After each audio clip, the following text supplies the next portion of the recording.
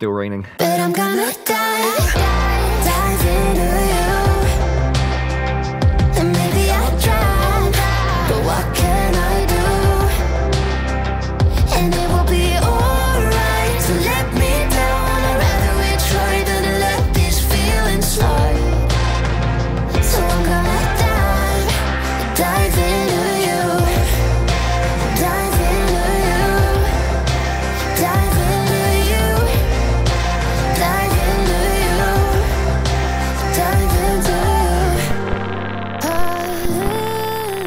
Welcome to car time! Woohoo! We are going to be discussing the idea. Do you have an idea? The initial idea of a video is what I'm talking about. I have thousands of ideas coming through my head all the time, and how I capture them is really quite important. I use field notes books. Obviously, hasn't got to be these, but these are pocket sized, easy to take with you anywhere, and actually scuffing them up in your pocket actually adds character and the more beat up they get, the better they look to me. So why do I carry them around with me?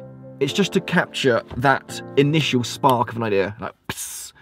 and it could be a, a title for a video, it could be a thumbnail, it could be just a specific one scene.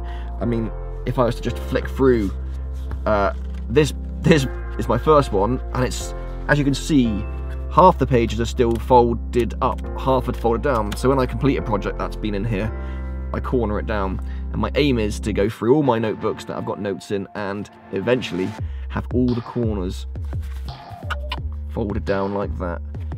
And then I'll add that to my collection, library, and it's great to look back on that, how that idea actually started, like the birth of that idea. So a lot of these ideas, as you can see here, they haven't been folded down yet. So I've got I've got a lot of material I've not even started to create yet. A lot of short films in here, very random ones that probably will never be made, but I want to make them because obviously that's the aim is to to complete the book. You know, two weeks ago, my uh, my video of camera settings. Well, there it is. That's all the notes I made on it. Uh, can you see? It says the heading, my camera settings. Completed it, fold down. Some of them are a lot more, well not a lot more in depth. My short film, yeah, I can teleport. That is the brains of the idea. So I've written down the intro scenes. Grab beer, close up of eyes looking at screen, drink beer, close up smiles. End by turning and looking into camera, teleport, and then show blueprints of a bank on screen. I didn't do the blueprint bit. I just left it to the imagination and a, a list of things that I had done. And then we've got also, next page, the bad results of what happened in teleportation. So I get stuck in a tree. Uh, I'm in a toilet where my wife is using it. I end up naked. I get locked out of the house. I fall to the ground lots. And I land in dog poo. So these are the ideas that go through this little noggin. But it's a great way of capturing and scribbling even like ideas for like even for thumbnails and stuff. So like I've got I won't show what it is, but I've got this film in in the works in a couple weeks time, and this thumbnail shows like a hand grabbing something, and I by putting that down, I know now mentally, oh yeah, that I can already see how that finished film is going to look. Another example, yeah, this one was a good one. My product photography at home, my epic photo shoot. Take a look at this scribble I did. Doesn't it look very close, you can see, to the finished thing?